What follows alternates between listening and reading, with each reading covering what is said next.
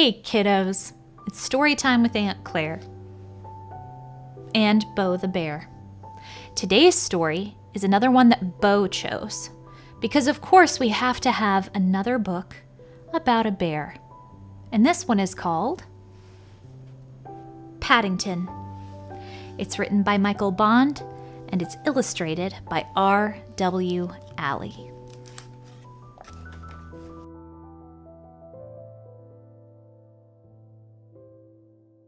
Mr. and Mrs. Brown first met Paddington on a railway platform.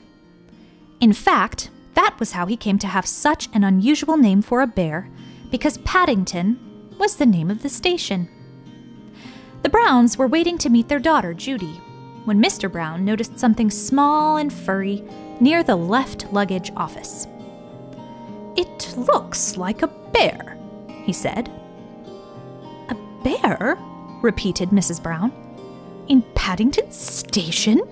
Don't be silly, Henry. There can't be. But Mr. Brown was right. It was sitting on an old leather suitcase marked Wanted on Voyage, and as they drew near, it stood up and politely raised its hat. Good afternoon, it said. May I help you? It's very kind of you, said Mr. Brown, but as a matter of fact, we were wondering if we could help you. You're a very small bear, said Mrs. Brown. Where are you from? The bear looked around carefully before replying. Darkest Peru. I'm not really supposed to be here at all. I'm a stowaway. You don't mean to say you've come all the way from South America on your own? exclaimed Mrs. Brown. Whatever did you do for food? Unlocking the suitcase, the bear took out an almost empty glass jar. I ate marmalade, it said. Bears like marmalade.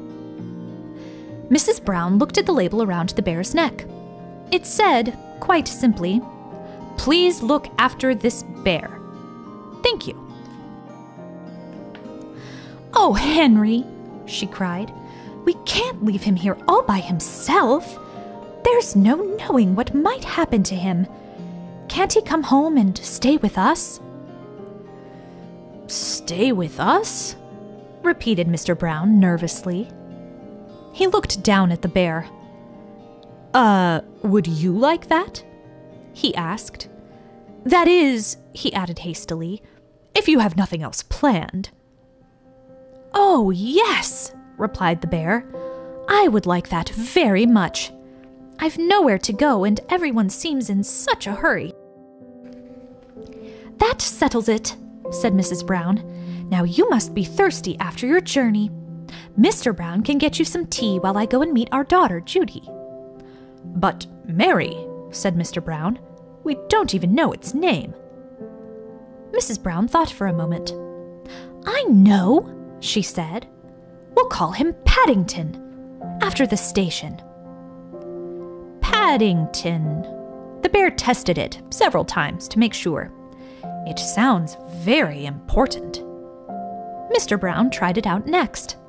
Follow me, Paddington, he said. I'll take you to the snack bar. Mr. Brown was as good as his word. Paddington had never seen so many snacks on one tray, and he didn't know which to try first. He was so hungry and thirsty that he climbed up onto the table to get a better look. Mr. Brown turned away, pretending he had tea with a bear at Paddington Station every day of his life. Henry, cried Mrs. Brown when she arrived with Judy, what are you doing to that poor bear?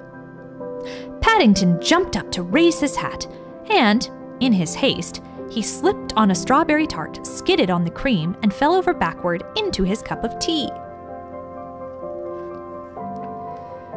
I think we'd better go before anything else happens, said Mr. Brown.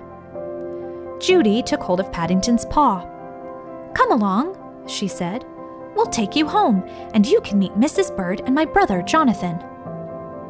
Mr. Brown led the way to a waiting taxi. Number 32 Windsor Gardens, please, he said. The driver stared at Paddington. Bears is extra, he growled. Sticky Bears is twice as much. And make sure none of it comes off on my interior. It was clean when I set out this morning. The sun was shining as they drove out of the station, and there were cars and big red buses everywhere. Paddington waved to some people waiting at a bus stop, and several of them waved back. It was all very friendly. Paddington tapped the taxi driver on his shoulder. It isn't a bit like darkest Peru, he announced. The man jumped at the sound of Paddington's voice. Cream, he said bitterly. Cream and jam all over my coat. He slid the little window behind him shut. Oh, dear, Henry, murmured Mrs. Brown. I wonder if we're doing the right thing. Fortunately, before anyone had time to answer, they arrived at Windsor Gardens, and Judy helped Paddington onto the pavement. Now you're going to meet Mrs. Bird, she said. She looks after us. She's a bit fierce at times, but she doesn't really mean it. I'm sure you'll like her.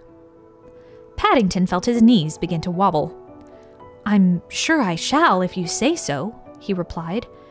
The thing is, will she like me? Goodness gracious! exclaimed Mrs. Bird. What have you got there? It's not a what, said Judy. It's a bear called Paddington, and he's coming to stay with us. A bear, said Mrs. Bird, as Paddington raised his hat. Well, he has good manners. I'll say that for him. I'm afraid I stepped on a jam tart by mistake, said Paddington. I can see that, said Mrs. Bird. You'd better have a bath before you're very much older. Judy can turn it on for you. I dare say you'll be wanting some marmalade, too. I think she likes you, whispered Judy. Paddington had never been in a bathroom before. While the water was running, he made himself at home. First of all, he tried writing his new name on the steam on the mirror. Then he used Mr. Brown's shaving cream to draw a map of Peru on the floor. It wasn't until a drip landed on his head that he remembered what he was supposed to be doing. He soon discovered that getting into a bath is one thing, but it's quite another matter getting out again, especially when it's full of soapy water. Paddington tried calling out, Help! At first in a quiet voice so as not to disturb anyone, then very loudly, Help! Help! When that didn't work, he began bailing the water out with his hat. But the hat had several holes in it, and his map of Peru soon turned into a sea of foam. Suddenly, Jonathan and Judy burst into the bathroom and lifted a dripping Paddington onto the floor. Thank goodness you're all right, cried Judy.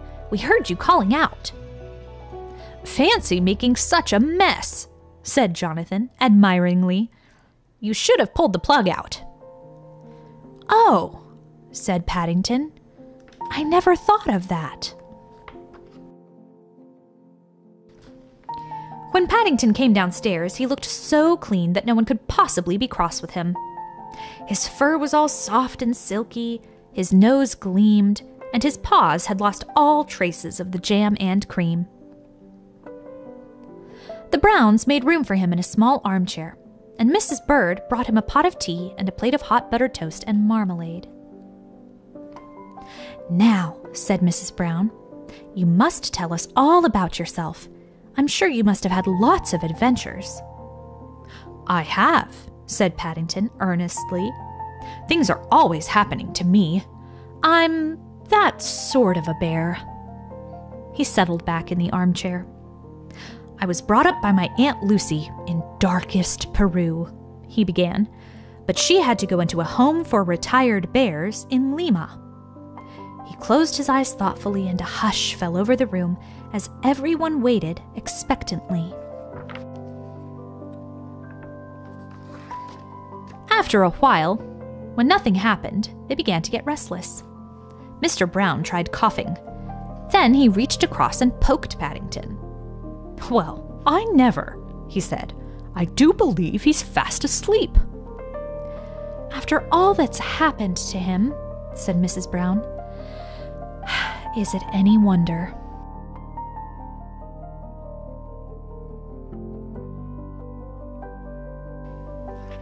That's it for now, but it's not the last story that we are going to read together.